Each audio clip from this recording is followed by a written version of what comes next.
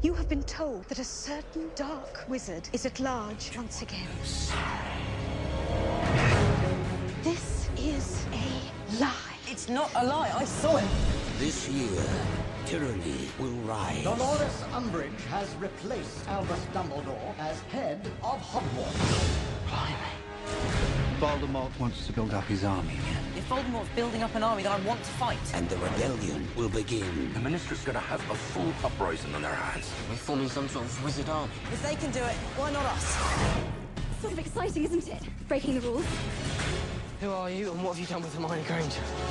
For Warner Brothers Pictures. Don't fight him, Harry. You can't win. Look at me!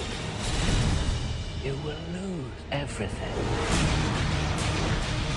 Expelliarmus! Harry Potter the Order of the Phoenix.